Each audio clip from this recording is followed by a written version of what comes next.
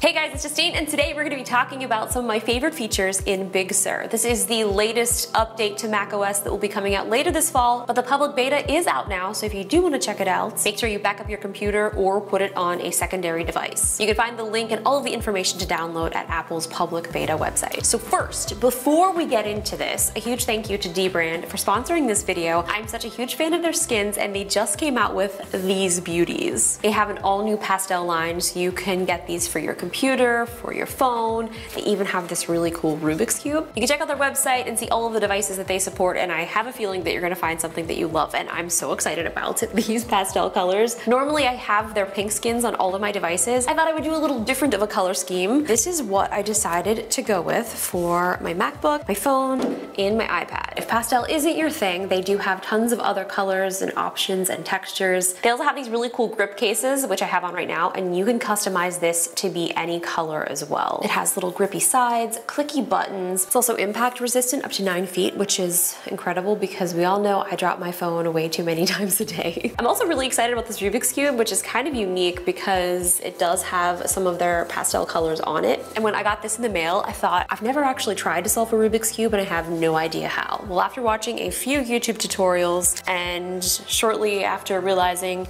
that these colors don't actually align with the real Rubik's Cube colors. Purple is actually the color yellow. so now that I can solve it under three minutes, I'm gonna try to maybe speed up my skills a little. But this is a really fun quarantine hobby. If anybody hasn't tried, I'll put a link in the description if you wanna check out dbrand and all of the awesome skins that they have available. And now, my friends, it is time to talk about Big Sur. I actually went to Big Sur last month. It was the first time that I had left the house at all. I came out of quarantine. I was like, I need to go somewhere.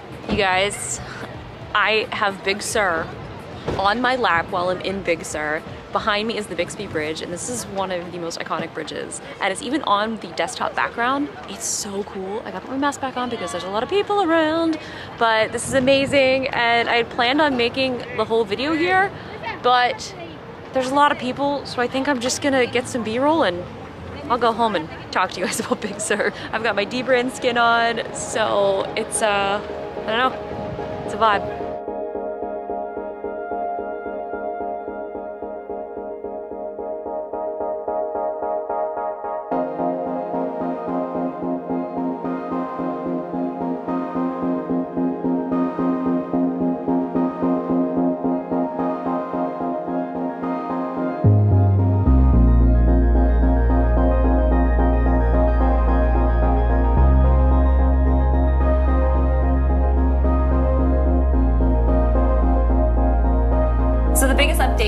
Sur is the design. Everything is now very seamless with iOS. Like at some point I started reaching in to touch my screen and nothing happened. The icons are now much more uniform. The menu is more of a transparent kind of look, so it's way more seamless integrated into the background. There's now a 10 day history for battery life, which I think is kind of cool because you'll be able to go back and see what apps have been kind of sucking the life out of your computer. The toolbars and sidebars have all been redesigned to blend in better with each window. The windows have a lighter design, softer, more rounded edges. Like I said, the icons have also been redesigned. Something else that's really cool is this now has the startup chime. You guys might remember this chime.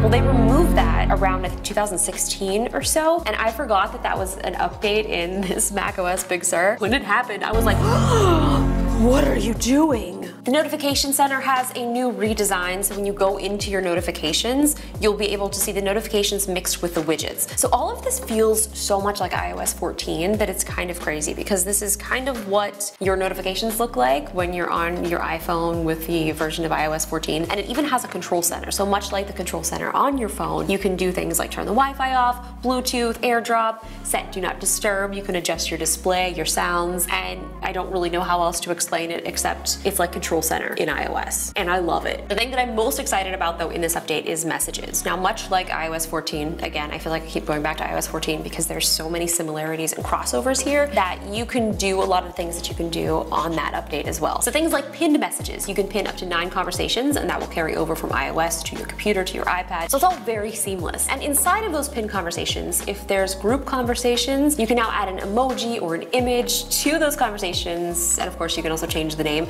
I feel like a lot lot of times most of my group conversations are just people changing the name to funny things and then I can't ever find that group conversation because people will change the name and I won't even realize it. I'm like, where's that conversation? I know we were just having a chat. To make group conversations a little bit easier, they have inline responses, but I feel like for group messages, this is gonna be wildly useful. So if somebody else is talking about something, you can then go in and click into that specific message and then have a separate conversation under it. I'm surprised it took them this long. I don't care how long it took, I'm just glad it's here. You've ever tried to search in messages, it's not a good experience at all. I don't really know how else to say it. It's not good. But they do have an updated search, so this will help you find conversations, photos, links much easier than you could previously. I use iMessage so much for so many different things, like video changes, sharing files back and forth, instead of even using email. Another big update is Safari. So what's really cool about this is they've integrated a lot of privacy features. So inside of the Privacy Control Center, you can kind of click into it, and this will show you how many trackers have tried to track you and and how many of those it's blocked. This is cool because I think a lot of us just surf the web not really considering the privacy aspect of what's happening. We're just, you know, mindlessly searching, shopping, whatever. So with this, it'll let you know exactly where you've been and what has been blocked. I use tabs a lot, like sometimes way too much. Way too many tabs are open. So you can now preview a tab instead of having to click into it. I think that's pretty awesome because I'll have so many tabs open that I won't remember which one I'm actually looking for. So now you can quickly go through and highlight over it and you'll be able to see a preview of it. They've made it easy so you can migrate extensions from other browsers. You can also transfer over your browser history, your passwords, and all of that stuff. So if you weren't using Safari before and you were using, say, Chrome, they're like, hey, let's just make it easy for you to come on back over here. You also have built-in translation on Safari, 4K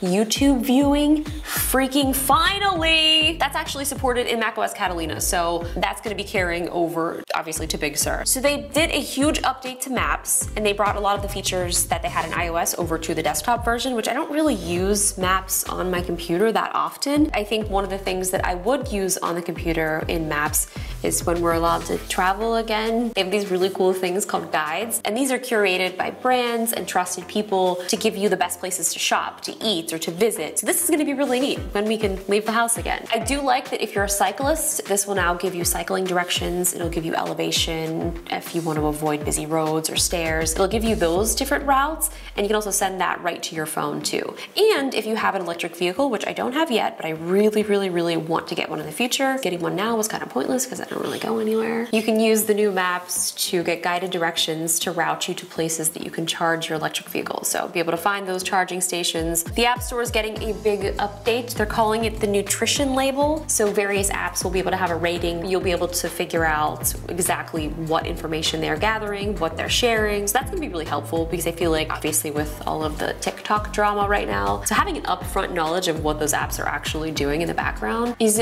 long overdue actually. So if you have your phone and your Mac running on the latest iOS updates with Big Sur and iOS 14, you'll be able to have automatic switching between the two devices with AirPods, which is gonna be really great because when I used to travel a lot on flights, I'd be going from my computer to my phone, back to my computer. So being able to have that seamless transition is gonna be really cool. HomeKit is getting secure video cameras. You can view those right in the Home app. The release will be coming out later this fall, and like I said, the public beta is out. But if you do decide to download this, make sure you see if your computer is compatible with it. And if you do plan on installing, please make sure you back up your Mac just in case something happens. It is a beta, so it's not a full release. So I guess that's it. If you guys are new to my channel, be sure to subscribe and hit the bell. And if you aren't new here, hello, hi. I'll see you guys in the next video.